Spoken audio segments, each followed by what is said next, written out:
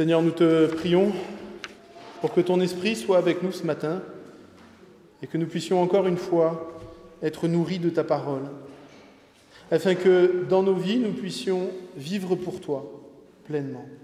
C'est dans le nom de Jésus que nous te prions. Amen. Voilà, ça fait quelques semaines que nous avançons ensemble dans le livre de l'Exode. Le livre de l'Exode, c'est le deuxième livre de la Bible. Vous savez, la Bible, c'est une bibliothèque. Il y a plein de livres dedans. Il y en a 66. Mais le deuxième s'appelle l'Exode. Exode, ça veut dire sortir, sorti. Parce que c'est le livre qui raconte comment Dieu a fait sortir d'Égypte son peuple, les Hébreux, et comment les Hébreux se sont retrouvés dans le pays promis en Israël. Et le passage de ce matin, c'est la suite de ce qui s'est passé après la traversée de la mer. Pour ceux qui s'y connaissent un petit peu, les Hébreux étaient esclaves en Égypte, et le soir de la Pâque, il y a eu un, ils ont sacrifié un agneau, chaque famille, et Dieu a sauvé les Hébreux et les a fait passer la mer. Ils ont été sauvés parce que l'armée du Pharaon les poursuivait, et les Hébreux ont pu traverser la mer, ce qui était impossible, et ils se sont retrouvés de l'autre côté sains et saufs. Alors nous avions vu il y a quelques semaines, je crois que c'était il y a deux semaines, nous avions vu que les Hébreux s'étaient mis à chanter un grand chant de reconnaissance. Ils étaient très heureux. Et on peut voir que ça avait bien commencé. Mais nous arrivons à la suite. Nous sommes un chapitre plus loin, au chapitre 16, et nous allons lire et afficher les paroles. Toute l'assemblée des Israélites ou des Hébreux, hein, on peut dire les deux, partit de Élim et ils arrivèrent au désert de Sin, le désert de Sin dans le Sinaï, qui est entre Élim et le Sinaï, la montagne du Sinaï. C'était le quinzième jour du deuxième mois après leur sortie d'Égypte. Toute l'assemblée des Hébreux murmura contre Moïse et Aaron dans le désert. Les Israélites dirent à Moïse et Aaron, Pourquoi ne sommes-nous pas plutôt morts de la main de l'Éternel en Égypte, quand nous étions assis près des marmites de viande, quand nous mangions du pain à satiété Au contraire, vous nous avez conduits dans ce désert pour nous faire mourir de faim avec toute cette assemblée. Alors l'Éternel dit à Moïse, je vais faire pleuvoir du pain pour vous depuis le ciel.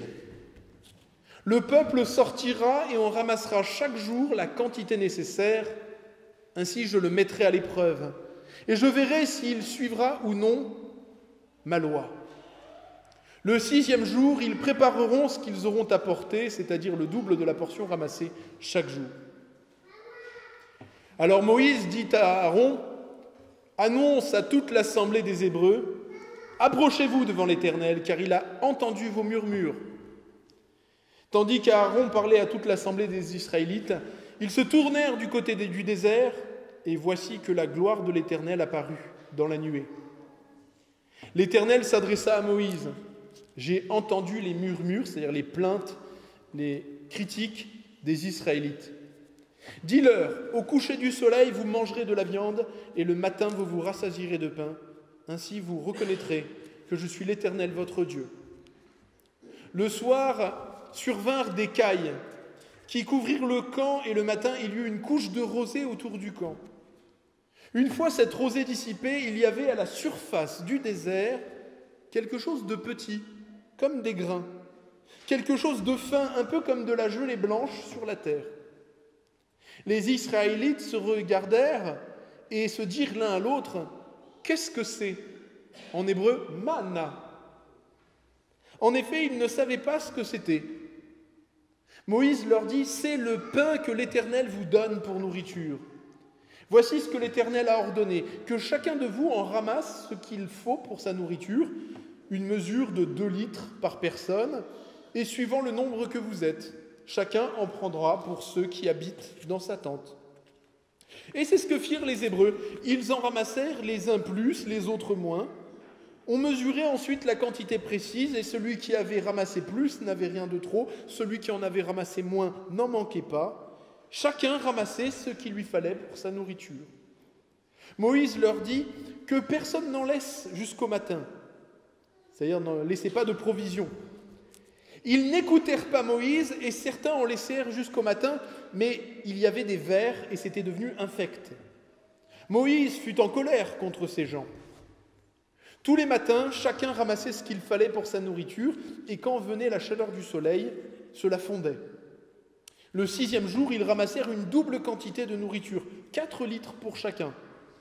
Tous les chefs de l'assemblée vinrent le rapporter à Moïse, et celui-ci leur dit, C'est ce que l'Éternel a ordonné, car demain c'est le jour du sabbat, le jour du repos, consacré à l'Éternel. Vous ferez cuire ce que vous avez à cuire, vous ferez bouillir ce que vous avez à faire bouillir, et vous mettrez en réserve jusqu'au matin tout ce qu'il restera. Ils le laissèrent jusqu'au matin, comme Moïse ne l'avait ordonné, et cela ne devint pas infect.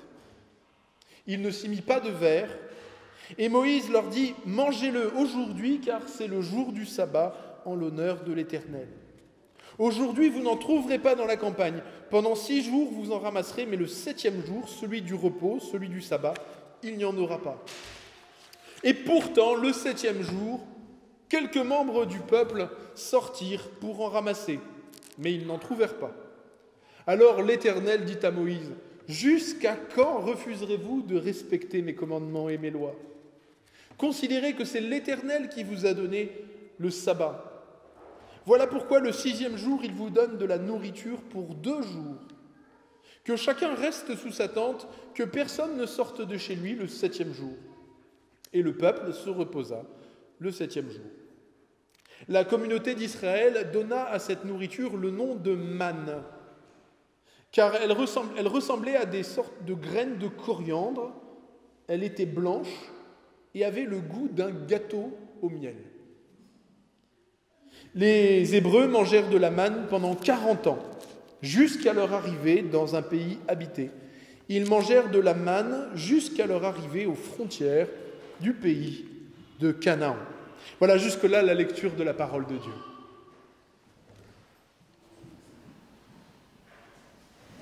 Alors vous vous rendez compte, pour ceux qui étaient là il y a deux semaines, la différence de mentalité qu'il y a. Hein il y a deux semaines, au chapitre 15, les Hébreux chantent, c'est la chorale, tout le monde est heureux. Dieu nous a sauvés, il nous a délivrés. Il est le Dieu merveilleux qui nous a donné et gardé la vie. Et ils traversent un tout petit bout de désert, il fait un petit peu chaud, ils ont un petit peu faim. Et là, qu'est-ce qui se passe? Dieu veut nous tuer. Il nous amène, s'il nous a fait sortir d'Égypte et nous a sauvés des, des Égyptiens, s'il nous a délivrés en nous faisant passer par la mer, en toute logique, c'est qu'il veut nous tuer maintenant dans le désert. Les Hébreux, dès qu'ils vont traverser des manques, des souffrances et des épreuves, au lieu de demander à Dieu avec confiance la nourriture dont ils ont besoin, au lieu de demander à Dieu, Seigneur, on t'a vu nous sauver, on t'a vu venir à notre secours, donne-nous à manger et à boire. Au lieu de l'invoquer et de le prier, qu'est-ce qu'ils vont faire? Ils vont critiquer, ils vont murmurer, ils vont se plaindre, ils vont manquer de confiance. Et pourtant, c'est là où on voit vraiment l'amour et la bonté et la douceur de Dieu, c'est que même dans cette situation où il est où où le peuple est dans l'ingratitude la plus totale, eh bien même dans cette situation, Dieu va prendre soin d'eux. Oui, les Hébreux n'ont même pas prié Dieu pour lui demander qu'il leur donne à manger, mais Dieu va leur donner néanmoins. Dieu fait passer son peuple à travers des manques, des souffrances et des épreuves parce que c'est une pédagogie. Pédagogie, ça veut dire c'est un enseignement, c'est une façon, un chemin qui permet d'apprendre des choses. Et ce que le peuple hébreu, qui est maintenant et le peuple de Dieu à cette époque-là, est en train d'apprendre, c'est la confiance. Il faut que le peuple, avant d'arriver dans la terre promise, apprenne à faire confiance à son Dieu. Alors, Dieu leur rappelle, il leur dit, mais je suis celui qui vous donne chaque jour ce dont vous avez besoin. Vous pouvez me faire confiance, je vous aime. Mais même quand Dieu fait descendre de la nourriture du ciel, eh bien, les Hébreux ne font pas confiance. On le voit parce que beaucoup prennent en se disant on ne sait pas si demain il y en aura. Alors quand Dieu leur dit demain je vous en, vous en donnerai encore, et eh bien eux ils en prennent pour deux jours en se disant comme ça, euh, voilà.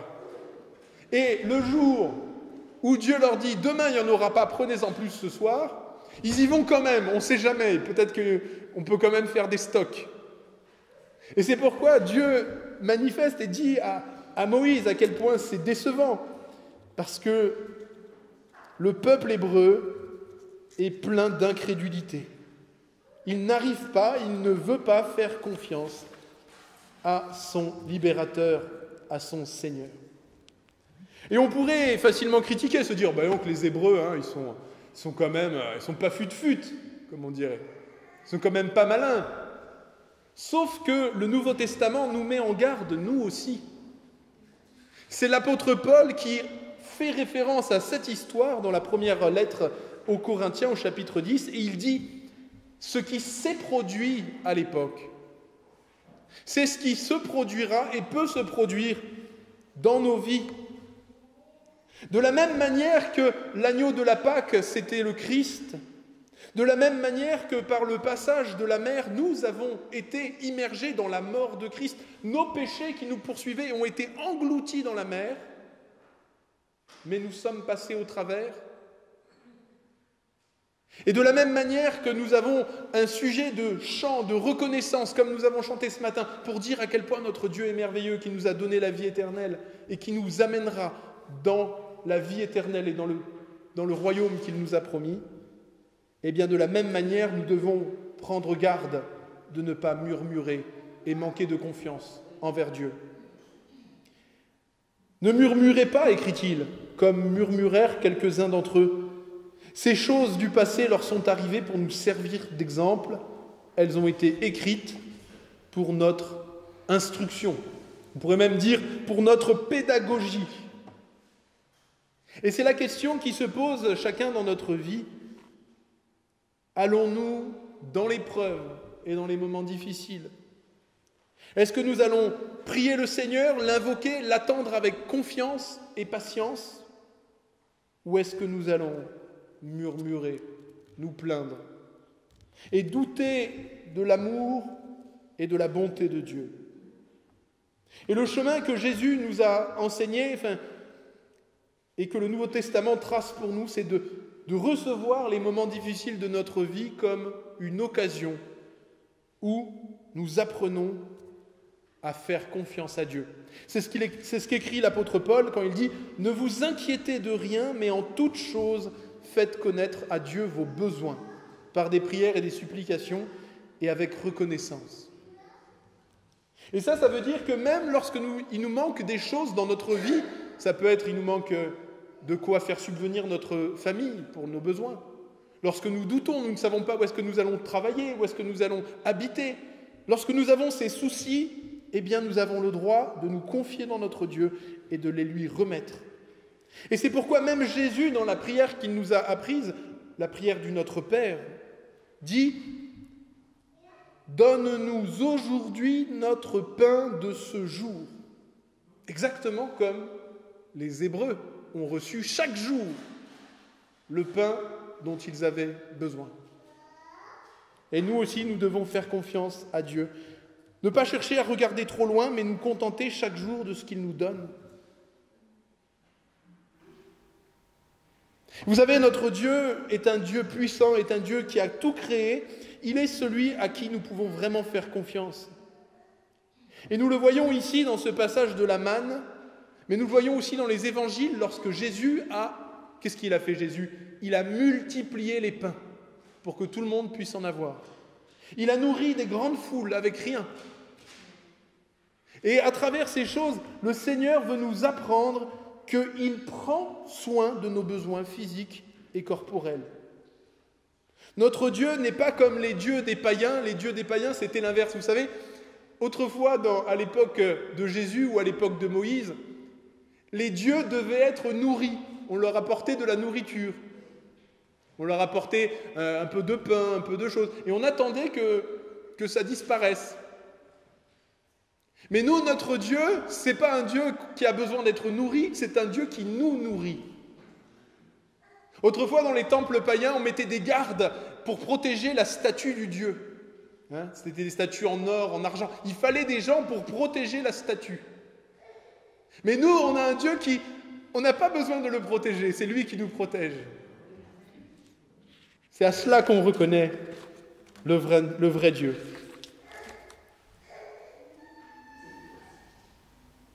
Mais je ne sais pas si vous avez fait attention, notre Dieu ne nous demande pas seulement de faire confiance à lui pour nos besoins matériels. Oui, Dieu pourvoit à nos besoins matériels, il nous donne ce dont nous avons besoin pour prendre soin de nous, même si ça nous demande un peu de travail. Les Hébreux devaient sortir, collecter la manne, la faire bouillir, la faire cuire, c'était un travail. Mais Dieu leur donnait ce qu'ils avaient besoin.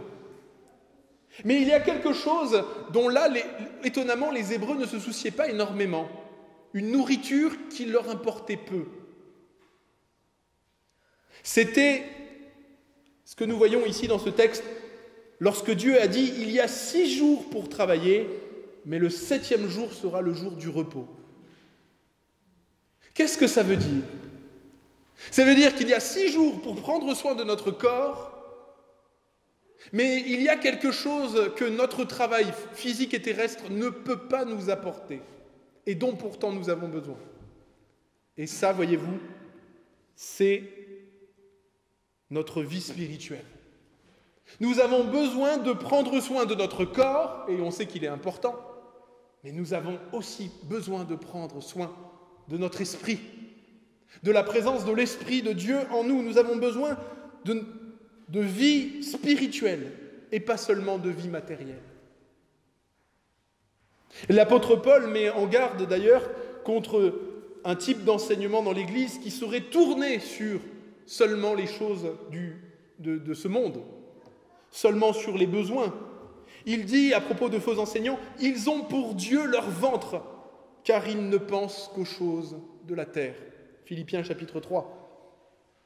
Et c'est vrai qu'on pourrait se dire, c'est peut-être un peu des fois ce qu'on se dit, prendre soin de sa vie spirituelle, c'est un luxe. C'est un luxe. On peut le faire seulement si on a bien mangé, si on a un toit, qu'on est confortable. Hein, prendre du temps pour notre vie spirituelle, c'est un luxe. Eh bien non. Parce que vous savez, si on fait une étude sociologique euh, planétaire sur quelles sont les, les, sociétés ou les milieux sociaux qui prennent le plus soin de leur vie spirituelle, ce n'est pas du tout les plus riches. Ça n'a pas de lien.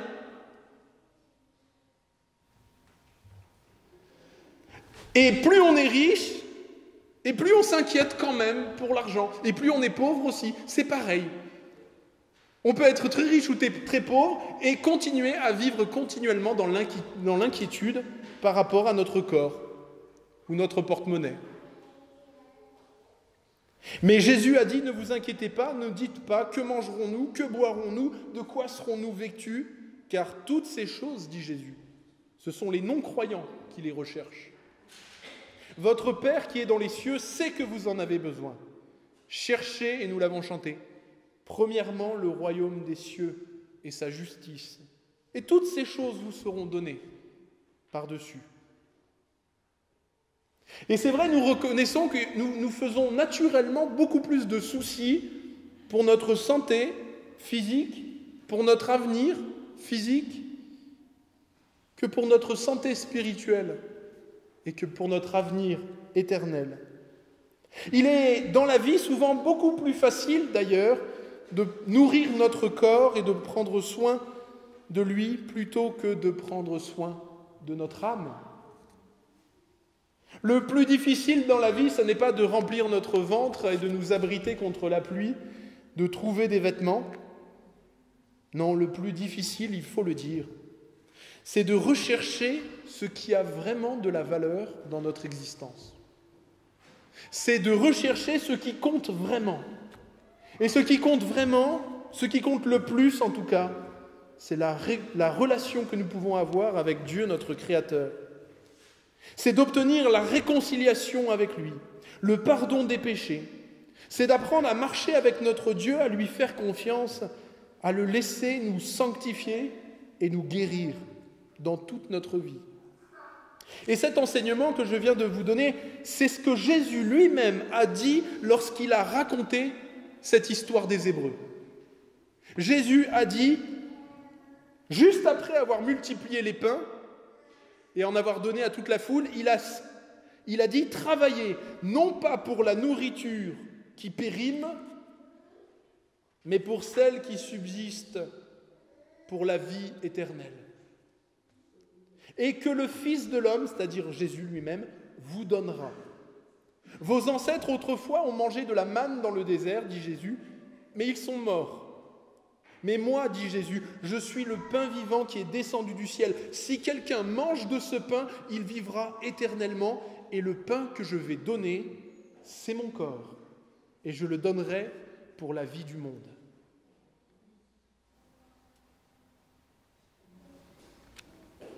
Cette parole de Jésus fait évidemment écho à la parole que Dieu avait donnée aux Hébreux, c'est dans Deutéronome chapitre 8, où Dieu explique cette pédagogie. Il dit, Dieu t'a fait souffrir de la faim, c'est Dieu qui parle aux, aux Hébreux, il t'a nourri de la manne que tu ne connaissais pas, afin de t'apprendre que l'homme ne vit pas de pain seulement, mais de toute parole qui vient de la bouche de Dieu. Ça veut dire que pour nous, lorsqu'on met et on articule cette parole, ces paroles ensemble, c'est-à-dire que ce qui est aussi important, voire plus important encore, selon les paroles de Jésus, que de prendre soin de nous physiquement et de manger des bonnes choses, et nous devons le faire, hein. il faut manger équilibré, des fruits, des légumes, pas attraper froid. Mais le plus important dans la vie, c'est de se nourrir de Jésus se nourrir de sa parole, de ses promesses. C'est de vivre continuellement en demeurant en lui. C'est qu'il devienne de plus en plus notre vie. Et ça, c'est le sens du partage du repas spirituel que nous allons prendre aussi ensemble. Oui, de la même manière que les Hébreux, si Dieu ne leur avait pas donné du pain venu du ciel, ils seraient morts dans le désert. De la même manière, si nous ne demeurons pas dans les paroles de Jésus, si nous ne demeurons pas nourris tous les jours, ou au moins toutes les semaines, des promesses que Jésus nous a faites, eh bien nous allons spirituellement mourir. Nous n'arriverons pas au pays promis. Nous avons besoin de, cette, de travailler non pas seulement pour les choses terrestres, mais pour les réalités spirituelles. Et comment Est-ce qu'il faut faire plein d'efforts? Est-ce qu'il faut faire des choses en particulier? Voici ce que Jésus dit. Les Hébreux ont posé la question à Jésus, les pharisiens, que devons-nous faire pour accomplir les œuvres de Dieu? Autrement dit, pour être sauvés. Et Jésus leur répondit, L'œuvre de Dieu, c'est de croire. Croire, ça veut dire avoir confiance. C'est de faire confiance en celui qui l'a envoyé, c'est-à-dire Jésus. Et l'apôtre Paul écrit, Ainsi la foi vient de ce qu'on entend, et ce qu'on entend vient de la parole de Christ. Ainsi la foi vient de ce qu'on entend, et ce qu'on entend vient de la parole de Christ. Et c'est par la foi, dit-il, que nous sommes sauvés. Oui, la foi est un aliment, la foi dans le Christ, c'est le Christ qui se donne à nous comme un aliment spirituel qui nous donne la vie. Et ça demande un peu de travail, un peu d'effort, c'est de faire attention.